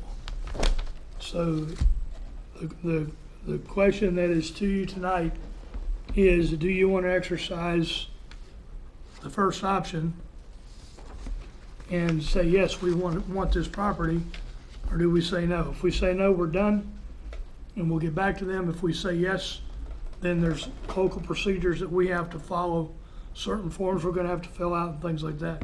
Plus, it's seven hundred seventy-nine thousand dollars, we don't just have in a corner. So, Uh, Counselor Certainly Sheffield? would like to take a look at the property first before uh, making a decision. Uh, So I think that would be the first thing. We'd like to see the property uh, first. okay. Anyone else? Sorry, Counselor Reed? Um, sorry, I just blanked. there are three organizations now.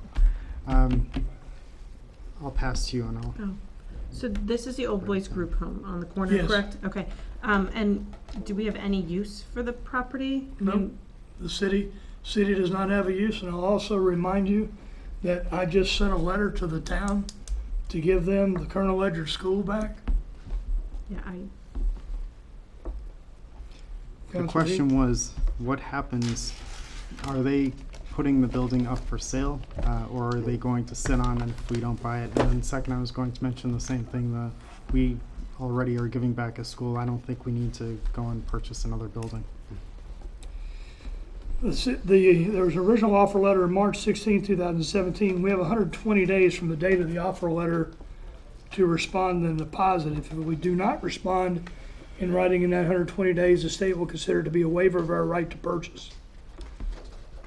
So the state would then, could then go out to bid for other, other, pro- for other people to purchase that property. For, Well, they would go out to bid for re- residential use. as Well, it far doesn't as- say for residential use. They would buy that property and then whatever it's zoned, that's what they could use it for unless they came back to, uh, planning and zoning with a, with a, uh, a recommendation for a zoning change. I mean, we do have processes where you can, you can, uh, get changes in zoning. Uh, who, Well, Deputy Mayor I, I was Garrett. just gonna make a comment. I, I would love to own that building. I, I would love to, to, to have it, uh, would, would make a, a good police department. But we're talking a lot of money that we don't have. And then even if we bought, if, even if we could afford to buy it, we would have to, to renovate it and, and make it, uh, adaptable, uh, for those. And like you said, uh, we've already got a building that we're trying to get rid of, so I, I, uh, when I first saw that, that it was gonna be available, because I used to say, back when Troop E moved out of there, it would have been nice if we uh, had it, but uh, I, I- from, from the dollar point of view, I- I don't see how we can do I, it. I will also remind you that we have the Mother Bailey House in which we are working with the Mother Bailey, ch- the Anna Warner Bailey chapter of the DAR to, they are working on a plan so they can come to us. They have the ordinance for the disposition of s- of municipal property.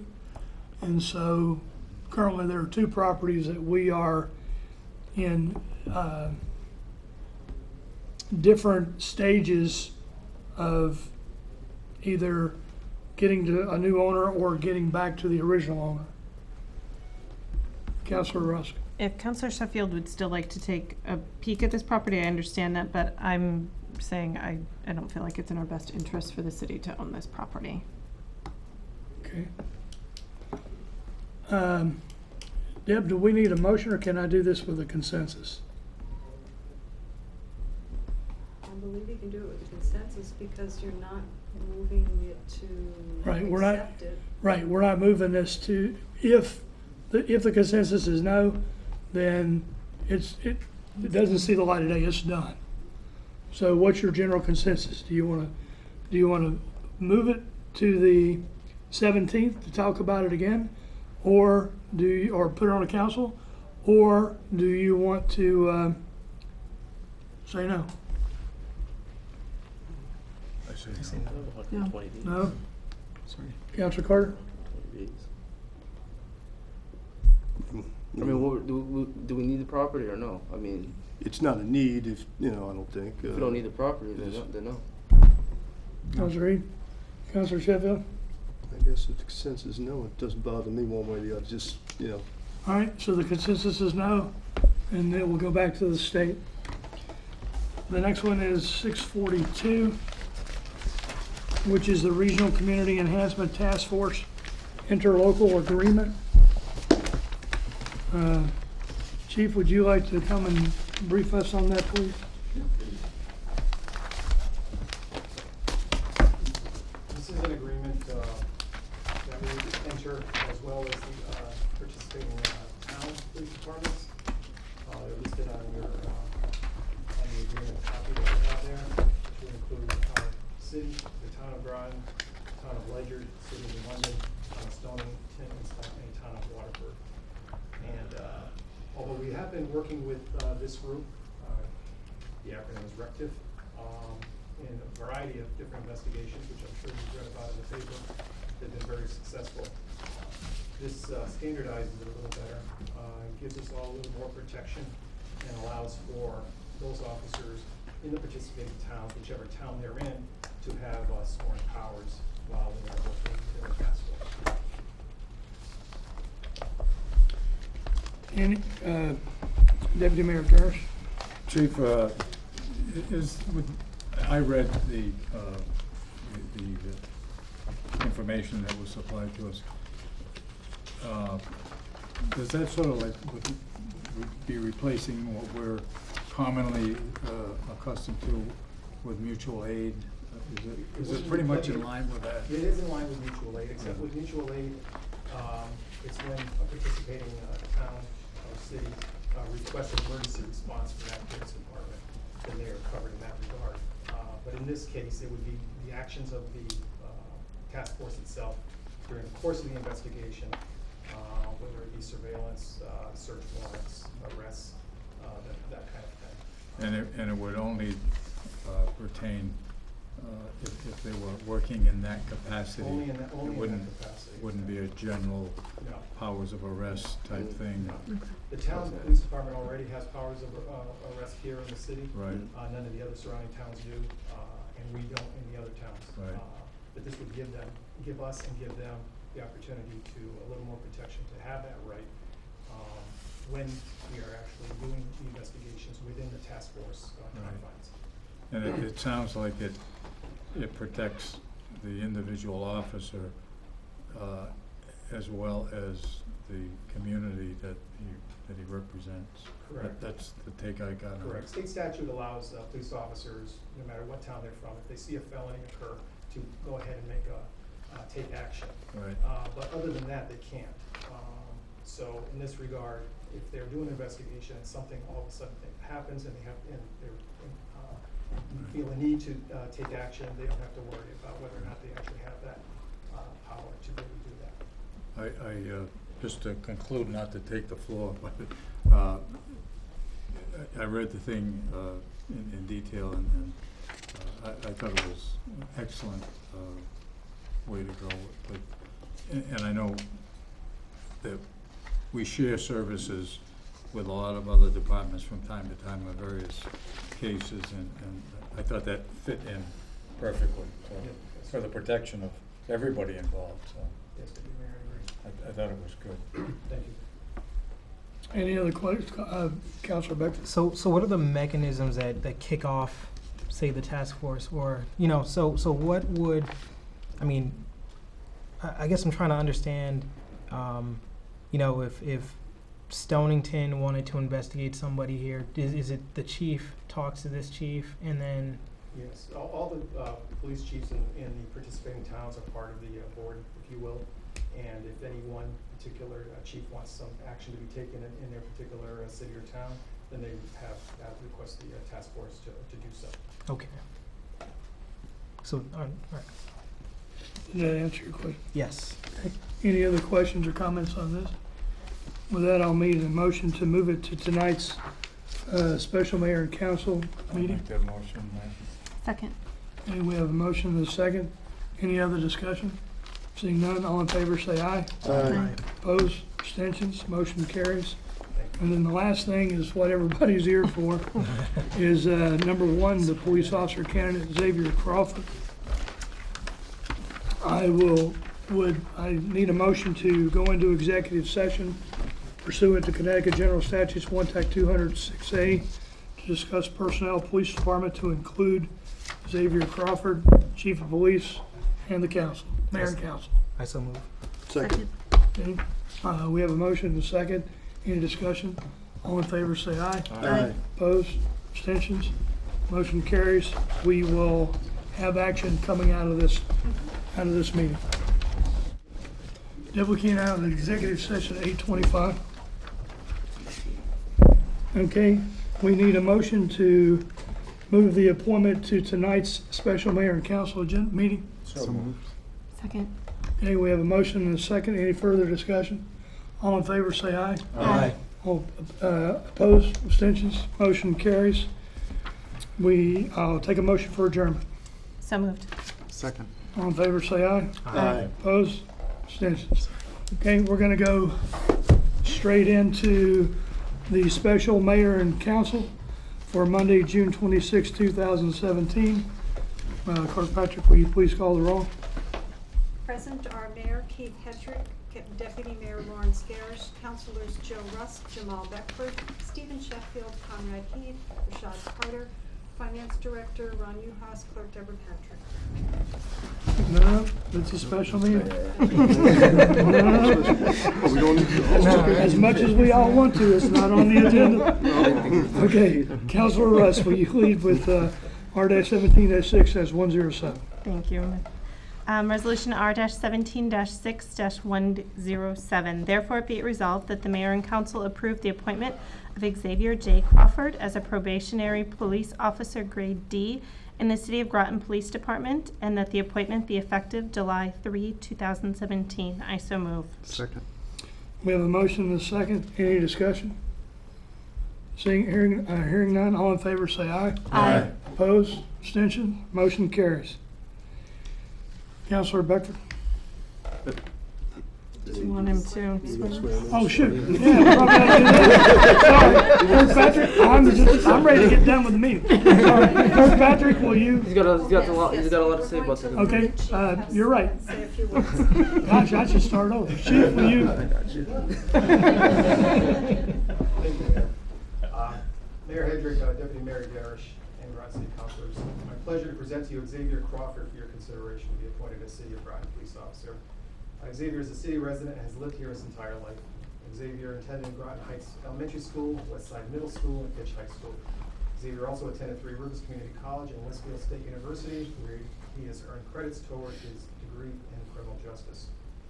Xavier has volunteered at Fitch High School, assisting in the hiring process for new incoming teachers as well as with the football team. While in high school, Xavier was captain of the varsity football team in 2014 and named an All-Eastern Connecticut Conference outside linebacker. And with your approval, Xavier is looking forward to starting his new career with the City of Groton Police Department. You want to? Okay. Clerk Patrick? Okay, gonna make this easy on you. So if you could, would you kindly step in front of that table and turn so you're facing everyone else because this is your show. All I'm gonna have you do is say your name and I will read the rest. Please say. Xavier Crawford? Do solemnly swear that I will faithfully discharge all the duties of police officer grade D in the police department, city of Groton, Connecticut. Court, oh, raise your right hand, I'm sorry. Let's start this over. It's contagious. Say your name again, please. Xavier Crawford. Thank you. That I will, do solemnly swear that I will faithfully discharge all the duties of a police officer grade D in the police department, city of Groton, Connecticut, according to the laws and policies governing said department. That I will serve the community with integrity, compassion, and fairness. That I will support the Constitution of the United States of America, the Constitution of the State of Connecticut, and the city charter of the city of Groton. That I will bear true faith and allegiance to the city of Groton, Connecticut, and to the office entrusted in me, so help me God. I will. Oh, I will. Congratulations.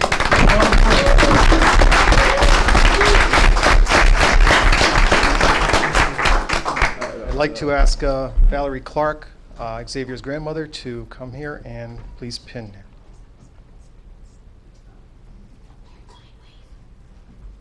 All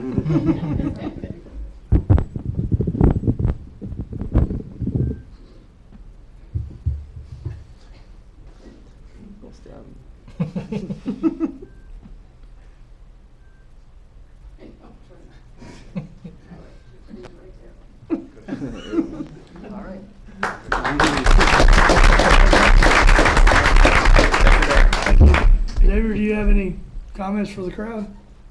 Thank you all for coming. Thank you. Thank you guys for approving me. Appreciate it. Thank you for having